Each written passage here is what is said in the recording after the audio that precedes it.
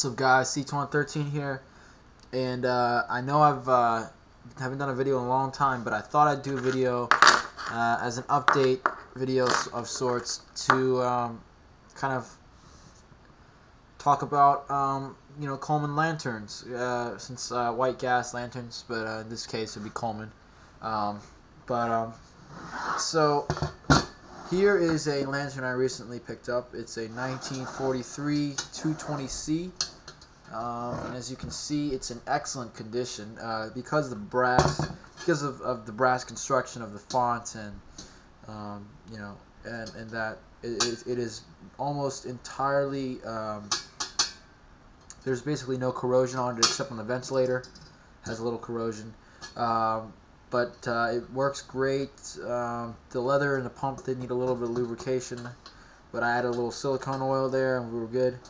Um, and also I'm going to talk about mantles in a minute, but um, basically I'm going to just um, you know light this lantern up and then um, yeah talk about it. So going to release the pressure in the uh, thing. I, I mean I always like to release the pressure. You may be wondering why I release the pressure. Uh, simply because that way it's easier for me to figure out um, how much um, pressure I need to put in, um, and where and you know exactly how much is in there. And also sometimes uh, this lantern sometimes uh, kind of flickers a little more if there's too much pressure on um, on, on startup when you light it. So I just like to um, you know keep uh, less pressure in there, uh, or I just know the exact amount. So I usually put in like 40 pumps or so. So let's do that.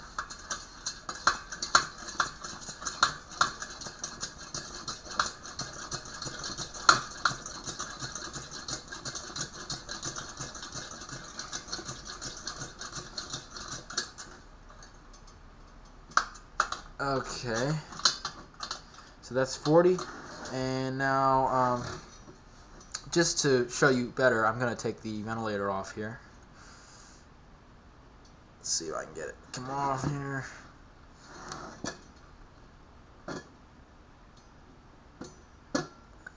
Uh, why does this... Uh, I tighten this nut up here too much. So... Unlike my 288, there's no um, kind of spring-loaded thing to, uh, you know, push up on the globe and the ventilator. So here's basically where there's some corrosion in the ventilator. Um, I'll give you an example. If you look inside there, you see there's it's a little bit rusted. But I mean, for 1946, this is in excellent condition. Uh, just just excellent. Um, there's you know no paint chipping barely. Uh, you can see some more of the rust there now, but that can be easily cleaned up. It's still got plenty of structural integrity. You know, it's not you know softened up or weakened a lot. All I gotta do is grind out some of that rust, grind out all that rust, and then I'm gonna repaint this with some Rust-Oleum. Uh, and uh, I may repaint the font, or I may I may make this uh, I may just polish it up and have the shiny brass there. But we'll, we will uh, light this up.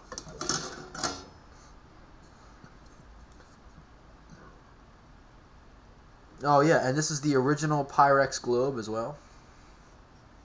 Very nice. Um,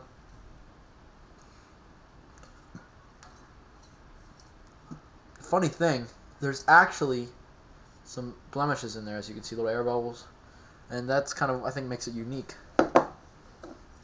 Um,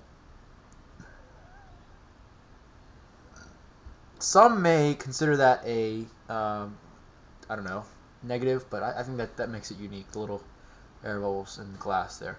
So.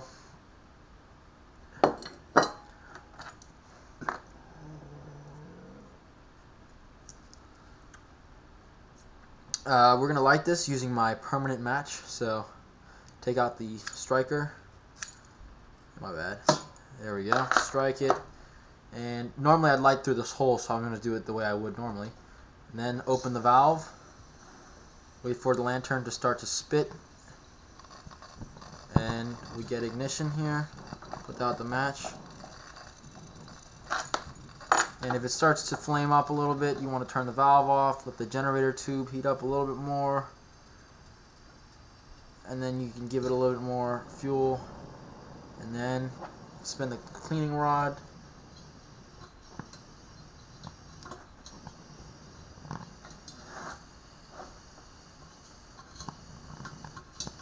Alright.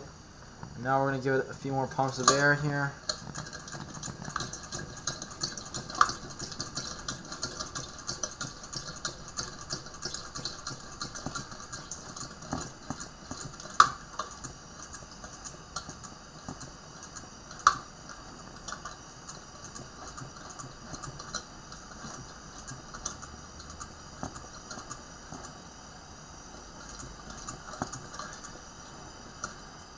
Okay, once you feel some significant resistance there, uh, what you're going to do is just turn this valve all the way open until it turns no more. And you're burning at full brightness. Now just replace the globe.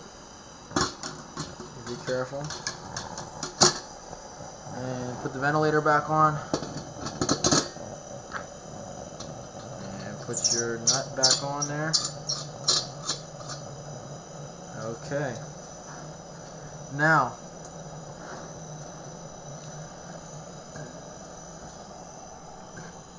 you can see too, I should note, that how bright and white this light is coming from this lantern. That is because I'm currently using Peerless thorium-coated mantles, and that's what we're here to talk about today. So, most mantles you buy in the store, in fact all of them really, are almost always Coleman lantern mantles because they're the most popular. Um, but also, now number 21s are usually the most popular. But uh, anyway, Coleman mantles do not have thorium anymore. They got rid of that around 1990, I believe.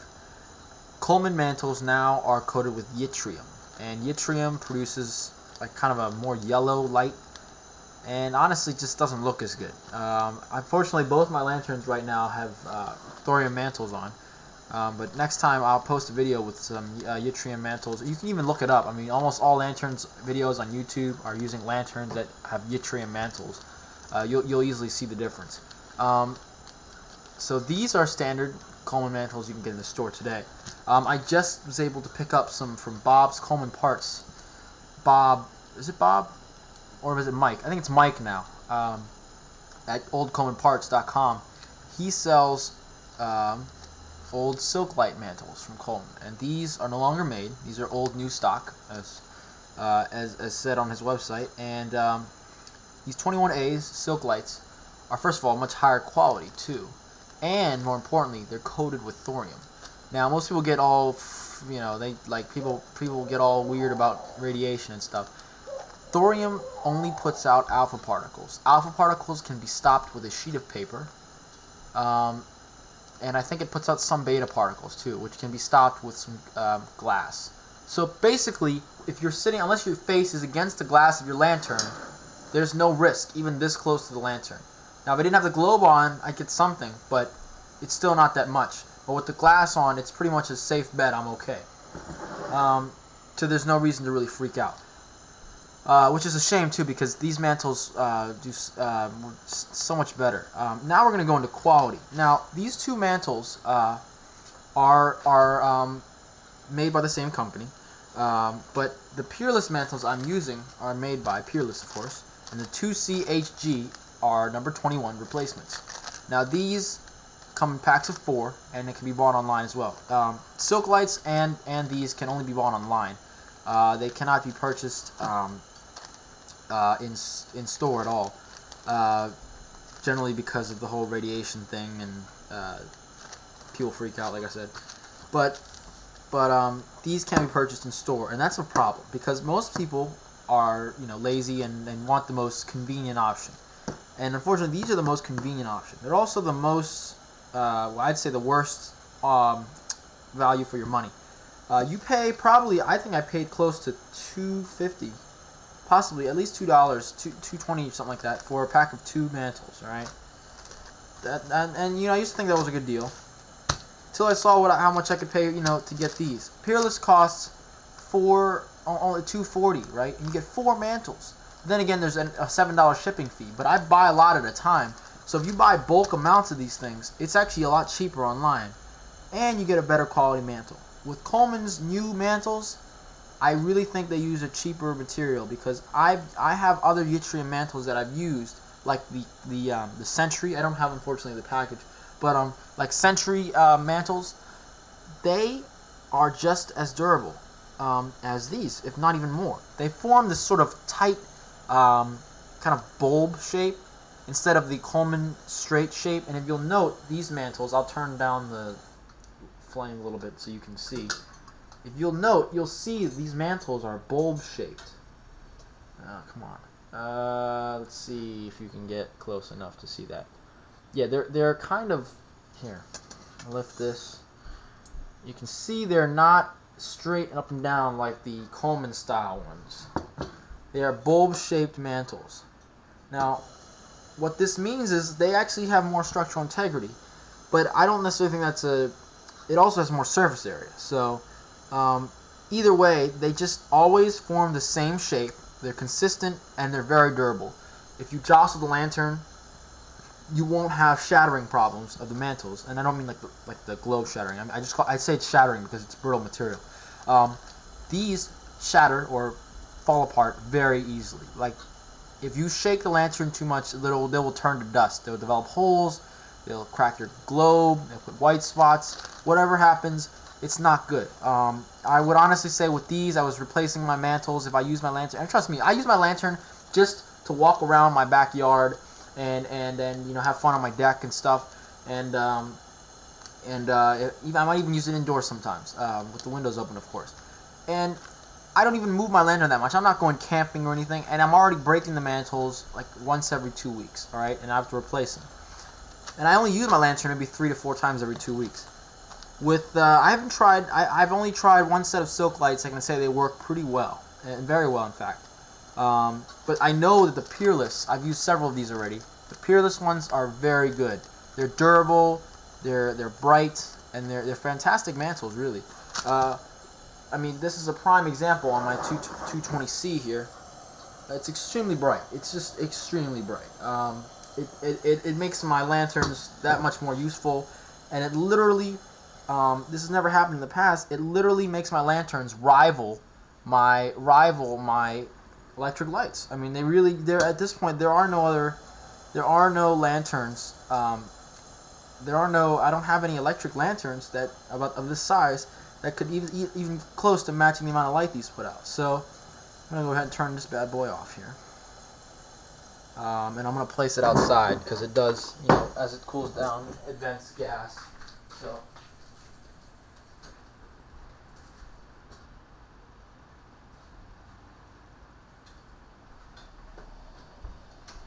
But as another example, this is my 2 288 here.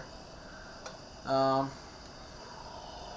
and you can see just how bright that is. It's just blinding white light.